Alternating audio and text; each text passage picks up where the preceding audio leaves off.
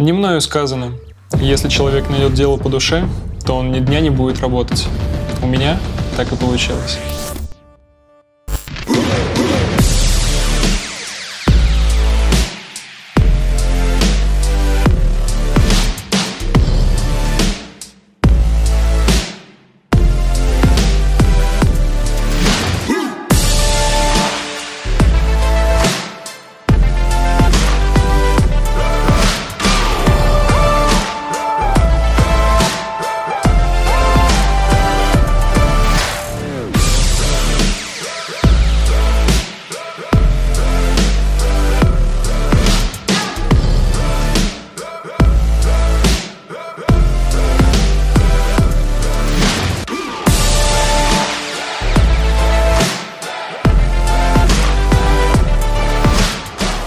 Мне все чаще доводится замечать, что вместо того, чтобы быть собой, мы все время стараемся быть похожими на кого-то, следуя имеющимся ярлыкам и шаблонам, забывая в первую очередь про свою уникальность.